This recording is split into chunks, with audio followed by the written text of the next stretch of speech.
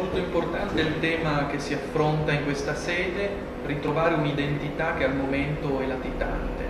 Eh, io credo che per trovare un'identità occorra non soltanto avere chiaro dove si vuole andare, quali idee sono quelle che devono guidare, orientare la nostra azione, ma anche contro chi bisogna prendere posizione, perché il campo in cui ci si muove è sempre un campo già occupato da qualcuno e contro cui bisogna prendere posizione definendo contrastivamente il proprio programma d'azione e di ricerca. A questo proposito, in termini schmittiani, occorre identificare qual è il nemico. Il compito fondamentale di ogni politica è sempre individuare l'amico e il nemico, questa è la dicotomia fondamentale di ogni politica.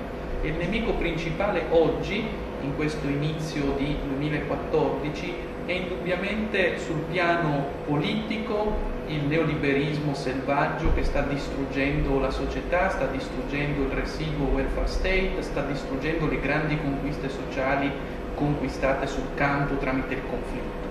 Sul piano geopolitico il nemico principale sono gli Stati Uniti d'America, cioè quella potenza che dal 1989 ha innescato una quarta guerra mondiale ai danni di tutti i popoli e gli stati che eroicamente le resistono, ricordando che un altro mondo è possibile. Sul piano filosofico il nemico principale è l'individualismo, cioè quella teoria del mondo che variamente declinata assume l'individuo come unico riferimento negando in partenza la società, la comunità, l'esistenza intersoggettiva. Qual è il nemico dunque, se si assume come nemico principale il neoliberismo oggi, dettagliando più precisamente il punto? Il nemico oggi non può che essere l'euro, l'euro che non deve essere assolutamente identificato con l'Europa, ma che è anzi il principale nemico di un'idea di Europa dei popoli fraterni, uguali, di un'Europa democratizzata, rispettosa delle etnie e delle religioni. Oggi una vera identità conflittuale oppositiva, diciamolo pure anticapitalistica, che sappia riappropriarsi della passione durevole dell'anticapitalismo e della ricerca di un'umanità di liberi e uguali, questa identità deve basarsi oggi su un anticapitalismo militante e questo anticapitalismo militante non può non essere quello che assuma l'euro come proprio riferimento polemico costante.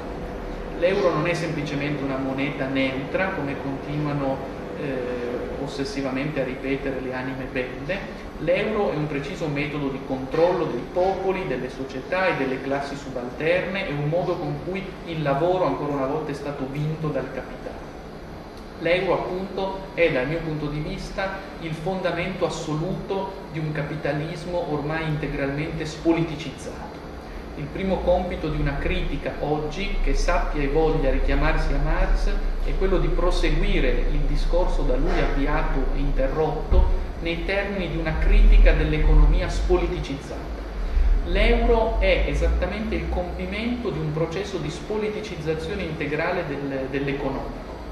L'euro serve esattamente a rimuovere quella residua egemonia della politica sull'economia che aveva caratterizzato larga parte dell'avventura moderna, dello Ius Publicum Europeum e che oggi appunto sta scomparendo.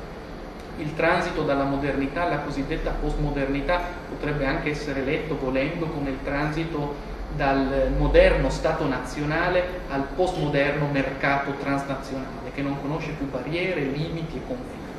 L'idea cioè di un capitalismo perfettamente realizzato è quella di un mondo in cui tutto diventa merce, in cui tutto riconosce nell'economico puramente autonomizzato il proprio riferimento utile. Perché questo potesse accadere era necessario liquidare in via definitiva lo Stato nazionale come ultima forma di primato del politico sull'economico. L'euro è servito in Europa esattamente a questo a svuotare la sovranità politica degli Stati per imporre l'unica sovranità del mercato, della finanza e del capitale. Chi pensa che oggi si dia un'identità immediata fra euro ed Europa, pensando dunque che l'Europa perfettamente realizzata sia l'euro, è o uno stupido o è in cattiva fede. Io penso che i più siano in cattiva fede, per il fatto che l'Europa così com'è oggi un orribile lager economico, eurocratico, in cui si perpetrano le peggiori tragedie, i peggiori genocidi finanziari degli ultimi anni, questa è l'Europa oggi, basti vedere il popolo greco sacrificato sull'altare di Monsieur le Capital, chi non capisce questo punto, eh, ripeto, è o stupido o in cattiva fede. Occorre prendere posizione contro questo. Chi crede che questo euro, questa Europa sia un primo passo verso la grande Europa eh, a suo tempo voluta e pensata da Kant o da Spinelli, non ha capito nulla. Questo è un primo passo verso l'abisso se l'abisso non si è già pienamente realizzato. Chi ama l'Europa dei popoli fratelli, liberi, ugualmente sovrani, che si riconoscono nella loro differenza insieme nella loro comune appartenenza al genere umano, non può che provare orrore per questa Europa. Questa Europa è la negazione del sogno di Kant e semmai il sogno, l'incubo visionario dell'euro, potremmo dire anche. Un'Europa che lascia soltanto il nesso mercantile del puro rapporto di forza capitalistica. Ora, l'Europa così com'è è esattamente il compimento della spoliticizzazione integrale dell'economia.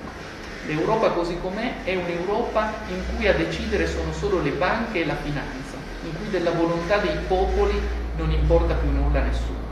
Non sono più soltanto, si badi bene, le classi subalterne a patire sulla loro carne viva tutte le conseguenze esiziali dell'economico ormai autonomizzato, ma sono anche i popoli, il popolo greco a cui già facevo riferimento e quello italiano, che versa in condizioni ogni giorno peggiori nel silenzio totale. Il paradosso del tutto inedito dello scenario in cui siamo sta nel fatto che gli stessi oppressi, cioè coloro che patiscono, ripeto, sulla loro carne viva quotidianamente le contraddizioni del sistema capitalistico eurocratico, le vivono come se fossero necessità a cui non è possibile porre rimedio. Le vivono cioè come se fossero catastrofi naturali non dipendenti dall'agire umano né da esso trasformabili. Occorre eh, defatalizzare questa mistica della necessità e tornare a pensare marxianamente il mondo oggettivo come nostro prodotto trasformato. Defatalizzare il mondo dovrebbe essere il programma primo di un nuovo partito politico che voglia ripartire da Marx, che sappia prendere in eredità lo spirito anticapitalistico, la passione durevole dell'umanità libera o dell'umanità socializzata, come diceva Marx, e che dunque mantenga stabilmente uno spirito di scissione rispetto all'odierno regno animale dello spirito capitalistico. Laddove la sinistra riprecipita in forme di adesione al capitale, di accettazione dei nessi di forza capitalistici, lì bisogna prendere congedo, lì bisogna dichiarare la propria alterità rispetto a questa convivenza sempre più oscena fra sinistra e capitale.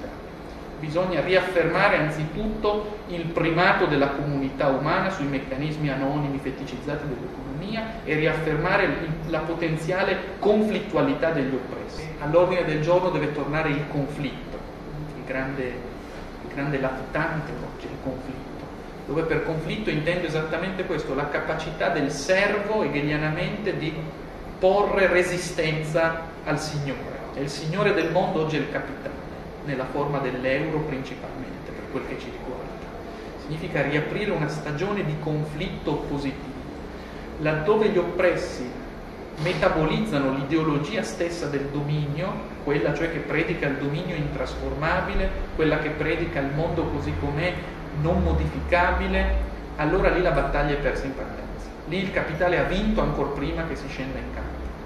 Quando cioè la sofferenza degli offesi del pianeta si spegne nella mesta solitudine, nel silenzio di chi pensa che il mondo sia ingiusto ma intrasformabile, imperfetto ma non perfettibile, lì allora il capitale ha vinto. E questo nemico continua a vincere da anni esattamente facendo leva sulla indisponibilità pressoché totale degli offesi a opporre resistenza.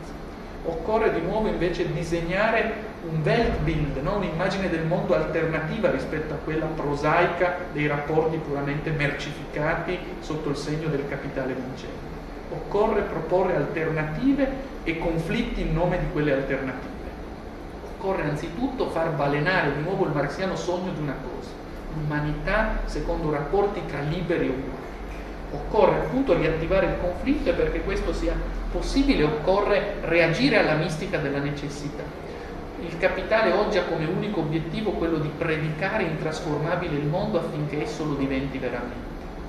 Cioè appunto il fatalismo dello spettatore rende fatale l'ordinamento del mondo. Laddove gli oppressi pensano che il mondo sia intrasformabile, allora non agiranno mai per trasformarlo. A questo mira oggi il capitale. Non predica le proprie virtù, ma predica pro- il proprio carattere destinale, intrascendibile, fatale. Occorre de- demistificare tutto questo e tornare a prospettare immagini del mondo alternative in nome delle quali, ripeto, combattere contro il capitale. Occorre anzitutto non pensare che sia normale, naturale, intrasformabile questo stato di cose tremendo. Diceva Bertolt Brecht, ciò che accade sempre non trovatelo normale. Questo deve essere il motto, la stella polare di un pensiero effettivamente critico. Bisogna tornare a prendere posizione criticamente sulla realtà, non accettarla. Bisogna sottrarsi a quel cretinismo economico tipico dei nostri politici che ragionano solo in termini di cifre e di fascinazione per il numero e la quantità. Occorre far tor- reincantare il mondo, far tornare grandi ideali alternativi nell'odierna notte del mondo, diceva Heidegger. No? Notte del mondo in cui la fuga degli dei, la distruzione della terra, la massificazione dell'uomo e il prevalere della mediocrità, sono sempre parole di Heidegger, dominano su tutto il giro d'orizzonte. Le alternative sono due, o accettare tutto questo o ribellarsi, o piegarsi alla logica del capitale trionfante come nuovo signore del mondo, o riprendere il conflitto in nome di un avvenire alternativo, in nome di una ulteriorità nobilità. Occorre cioè defatalizzare l'esistente, tornare a pensare il presente come storia e tornare a pensare il conflitto come necessità per liberarsi dalla schiavitù che abbiamo prodotto noi stessi. Voglio chiudere questo mio intervento con un passaggio molto bello del Giulio Cesare di Shakespeare, in cui si dice testualmente la colpa, caro Bruto, non è nelle nostre stelle, ma è in noi stessi se noi restiamo degli schiavi.